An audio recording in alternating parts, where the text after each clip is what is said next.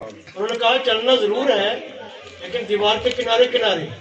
जब आपकी बारी आई आपने फरमाया चलना ज़रूर है पर कदमों के साथ नहीं। हरम की ज़मीन और कदम रख के चलना अरे सर का मौका है वो जाने वाला। क्या बात माशाल्लाह माशाल्लाह क्या बात है। ये ये मुकाम कदम के साथ चलने वाला नहीं ये सर के बल चलने वाला है। हरम की जमी और कदम रख के चलना। हरम की जमी और कदम रख के चलना। अरे सर का मौका है ओ जाने वाले। अरे सर का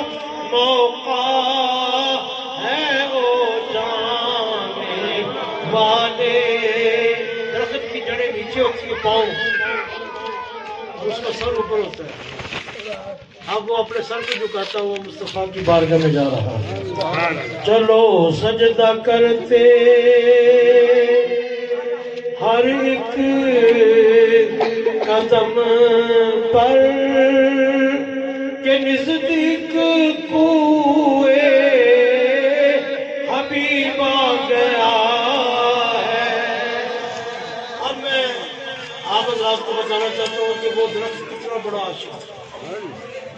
यासिन साहब, तवज्जो कि वो दरख्त जो है वो कितना बड़ा आशिक था। आप कभी अंदाजी में नेट पे किसी आपके बुज़ुर्ग का नाम आ जाए, आपका मदीना तय्यबा में जाने का सफ़र मकबूल हो गया है। अभी उसने देखा, ऐलान नहीं हुआ, कोई लेटर नहीं आया। सो के देखा। आगे कहता है बाजी मुबारक हो, तुम्हारा नाम जो है वो आ गया। अब मोहब्बत से झूमता है। मोहब्बत से झूमता है। अब जिस वक्त दरख्त को पैगाम मिला, ये देखें, दरख्त कितना बड़ा आशिक है। जब दरख्त को पैगाम मिला तो दरख्त झूमा अब लोग समझते हैं कि ये ये झूम क्यों रहा है? ये महफिल में बैठने वाले जो लोग हैं, ये झूमते क्यों? उनके ऊपर वजह की कैफियत क्यों सारी होती है? और मैं वजह ये है कि दरख्त और भी थे। दरख्त और भी थे लेकिन उनमें से कोई और तो नहीं झूमा। महफिल में वही झूमता है फिर मैं जिन्हों करंट लगता है ना करंट लगता है वही तड़पता है। है? जिन्हों करंट लगता है वही तड़पता है। जिसको पैगाम मिलता है वही झूमता है। और जो दरख्त है वो दरख्त जो है वो महबूब की मोहब्बत में झूमा नाराय तकबीर नाराय रिसाल नाराय रिसाल महफिल मिलाद नबी बड़ी उम्मीद है सरकार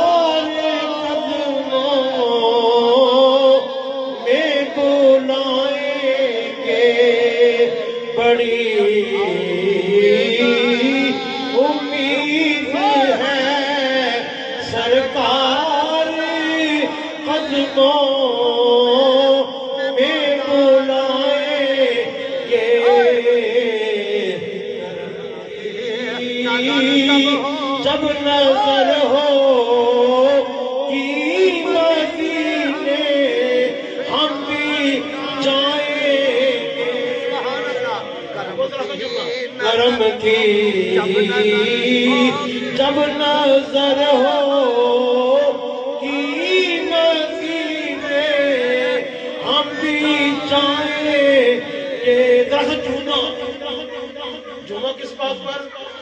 अभी तो पैगाम मिला है यहूदी की तरफ़ से। यहूदी क्या उसने पैगाम दिया है।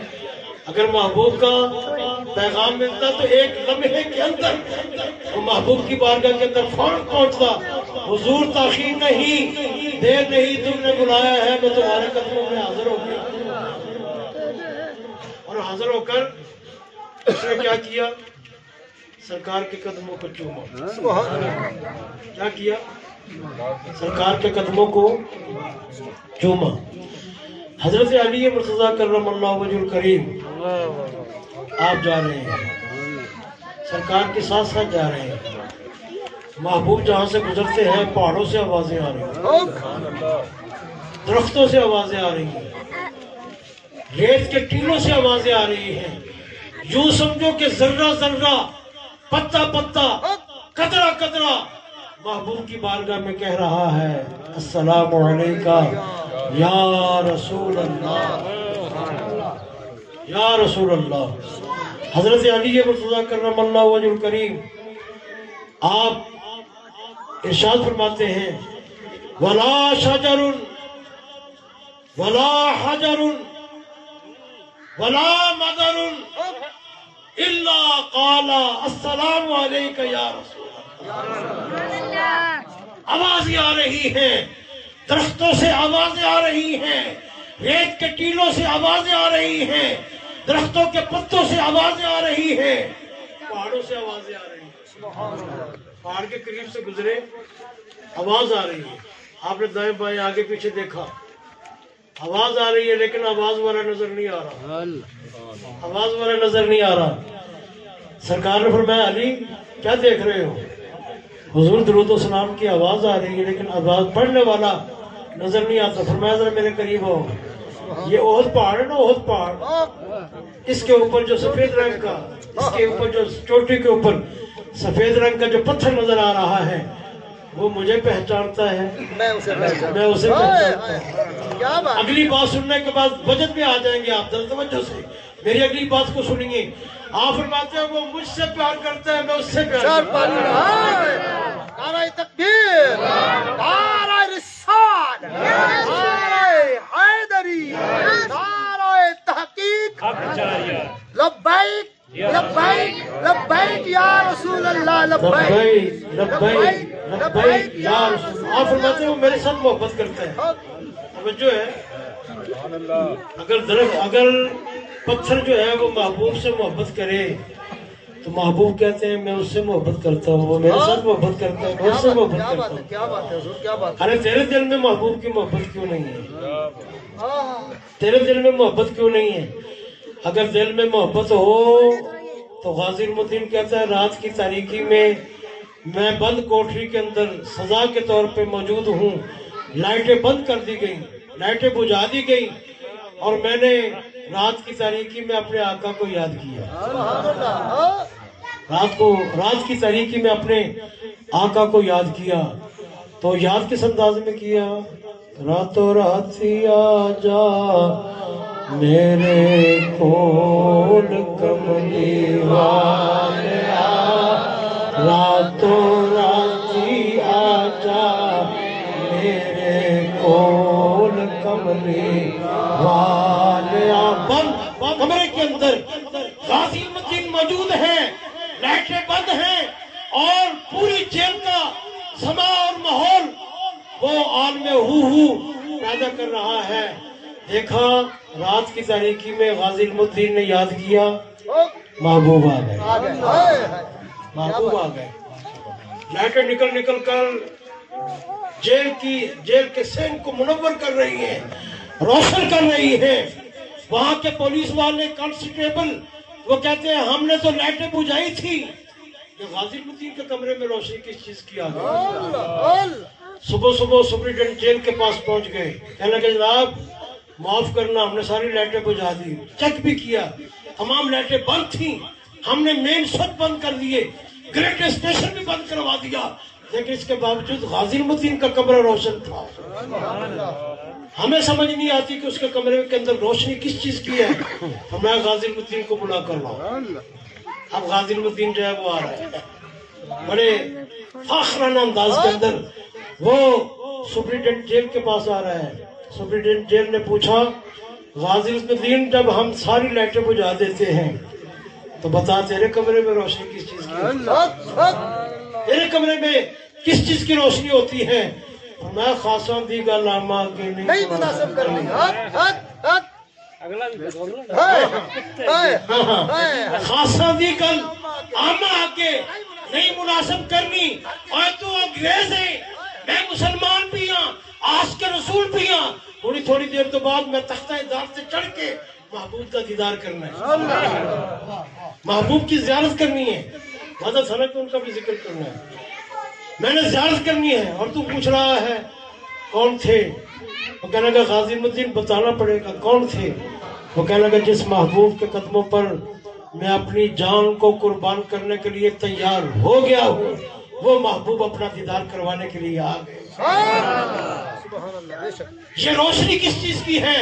और मैं आयशा सिद्दीका रज़ी अल्लाह तआला फरमाती मेरी छोटी सी सुई गुम हो गई अंधेरा था मैं टटोर रही हूँ मुझे मिल नहीं रही इसलिए मैं मुस्तफ़ा करीम कमरे में आए हदीस बात कमरे में तशरीफ़ लाए।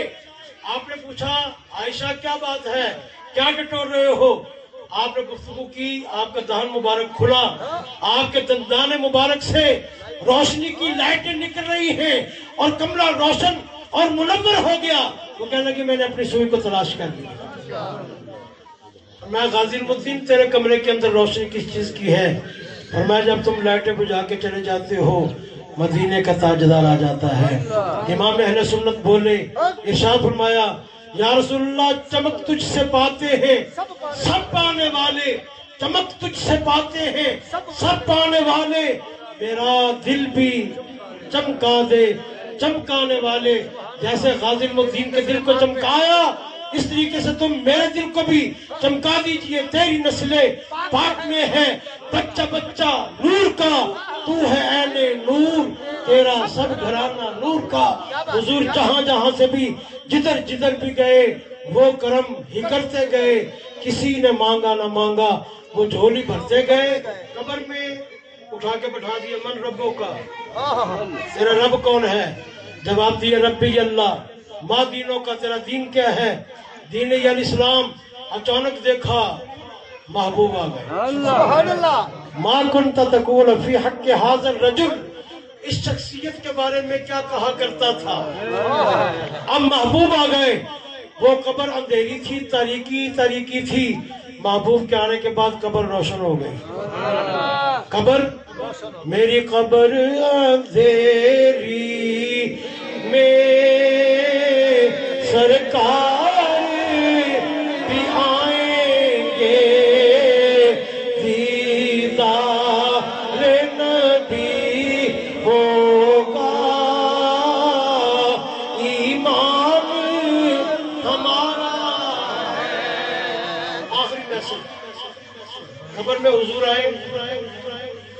तुम खर्च करते रहे इनमें कोई गया कब्र के अंदर? सारे कब्र में छोड़ के आ गए वापस। कई ज़िंदगी में छोड़ जाते हैं और कोई कब्र तक पहुँच के छोड़ जाते हैं और कोई दफन करने के बाद छोड़ जाते हैं। लेकिन एक अजीम हस्ती है। फरमाया कि तुम मेरा कलमा पढ़ लो अरे पढ़ने के बाद देखना, जहाँ कोई नहीं आएगा, वहाँ तुम्हारा मुस्तफ़ा वहाँ कौन आ जाएँगे? असा सुने माही ओदी फड़दा जिदा कोई भी सहारा ना ये आखिरी शेर से कह दो असा सुनिया माही ओदी फड़दा जिदा कोई भी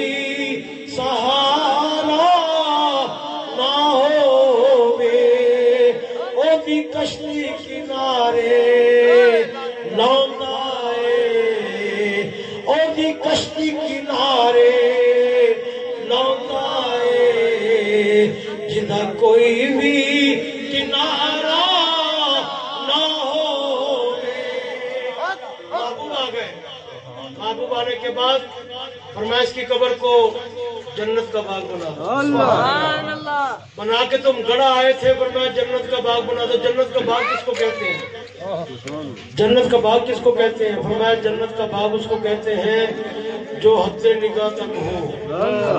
फरमाया मोमिन की कबर को हुक्म होता है इसकी कब्र को तक कुशादा कर दो। देखने वाला देखता है ये कब्र एक ढेरी है। ये कब्र क्या है? एक डेरी है।